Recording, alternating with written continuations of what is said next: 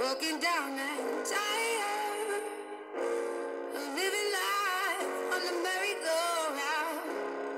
You can't find a fighter, but I see.